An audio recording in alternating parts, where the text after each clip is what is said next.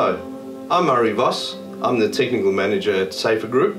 Today I'm going to give you some information about the Australian and New Zealand standard, the AS-NZS 5532. This standard is in particular to do with the manufacture of anchor points. It's critical that we understand this standard in relation to the installation of anchor points. In particular, I'm referring to the surface mount type of anchors, which is riveted to the roof sheets. This is in relation to all surface mounted type anchors, and not only the Sayfa range of anchors. Prior to the AS NZS 5532 standard coming out, there was the AS 8091.4 standard, which particularly referred to anchors and their strength requirements being 15 kilonewtons and 21 kilonewtons, but did not have any testing criteria. Anchors have evolved and have been designed to attach to lighter gauge structures Therefore, it's important to come up with a testing criteria for these types of anchors. In the past, anchors have been designed and rated, but not considering the structure to which it's attached. The AS5532 standard has taken into account the anchor in its installed state, so that the testing of the anchor and the roof structure to which it's attached. This is very important part for surface mount type anchors. This standard also stipulates that the anchors must be tested on various roof types that it might be used on. So one test doesn't suit all structure types. Depending on the different types of, of roof material, each test must be done in accordance with that roof type material. The AS NZS 5532 standard has four main testing procedures for surface mounted anchors. The first test is a dynamic load. The dynamic load test is a 100 kilogram mass dropped 2 meters which equates to 15 kilonewtons of dynamic load onto the anchor and the structure and then this is done in line with the roof deck. The second test is a static load test of 1530 kilograms or again 15 kilonewtons but pulled on the anchor and held for 3 minutes. This is a very important test as it has to do with the anchor and the performance in conjunction with the roof deck structure. So it's testing the performance of the anchor in its installed state. The third test is the same as the first in that it's 15 kilonewton dynamic load but then tested in the other direction. So the roof sheet is then turned and tested across the roof deck. The fourth test is then the same test as test 2 which is a static load of 15 kilonewtons in the other direction as well. So again, in the, in the 90 degree direction to the first test.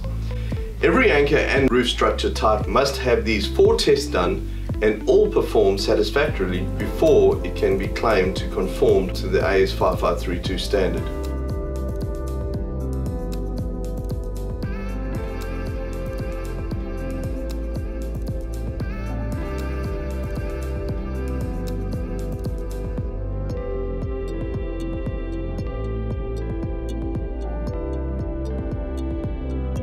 The rating of an anchor point to 15 kilonewtons is important to understand that the anchor is rated to 15 kilonewtons and the roof structure.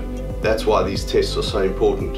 The reason why most surface anchors are only rated to 15 and not 21 kilonewtons is that it would mean that the roof structure would also need to withstand 21 kilonewtons, which is approximately equivalent to 2,100 kilograms or 2.1 tons. Most roof decks are not capable of taking this huge load. So the anchor may be rated to 21 kilonewtons, but in its installed state, that is with the structure underneath, the, it's the structure that will possibly fail, not so much the anchor. 21 kilonewtons is not necessary for the requirement of rescue if the anchor is tested to the static load requirements after the dynamic test on the same anchor that's already tested, then the anchor can be used for rescue. This is the case with all Sayfa surface mount anchors. We always test the static load after the dynamic load has been performed on the same anchor and same roof deck system. This ensures that a rescue can be performed off an anchor that has already taken a full rest situation. You must make sure that the anchors you install can perform a rescue of the same anchor. All surface mounted anchors use the roof sheet as the main substrate to take the loads, as the roof sheet acts like a diaphragm and spreads the 15 kilonewtons across the purlins. But it's important to understand that it's critical this roof sheet has to take 15 kilonewtons of shear load. So, with reference to 15 kilonewtons and roof sheet taking these loads, clip fix roofs are only clipped down and not physically fixed into the purlins. When installing an anchor on these type of roofs, you must understand that huge forces are involved.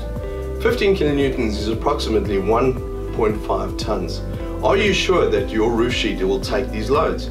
How do you know that the clip fix roof sheet will not just slide off if a fall did occur? It must be understood that in most cases the anchor or roof should be screwed through to the purlin beneath to stop the roof sheet from sliding. The other point to note is that some clip fix roof sheets do not have a full lap. So where the anchor is riveted is critical. The rivet may not have gone through two thicknesses of roof sheet. If it is riveted on the lap, depending on the way it is fixed, it could be that if that anchor is put under tension, it could cause the roof sheet to unclip or delaminate. It's very important to understand this when installing an anchor. With the Sayfa range of surface mount anchors, all anchors have been tested to the requirements of the AS NZS 5532 standards, in that they have been tested in both directions on virtually all roof deck systems available. The anchor has also been tested for rescue situation after a fall has occurred, so the anchor can be used for rescue from the same anchor. That is, if someone is already suspended in a full arrest situation, can still then send someone else to rescue off that anchor. The other advantage of our 360 anchor plate, because it's a bigger plate spread over two ribs, there's less chance of roof deck delamination or, or unclipping and a better roof deck performance due to less point load and more spread load. All our surface mount anchors have a swivel attachment which gives an even load to the roof sheet structure it also eliminates the potential of rollout issues where the snap hook could be activated accidentally and the swivel then eliminates this issue.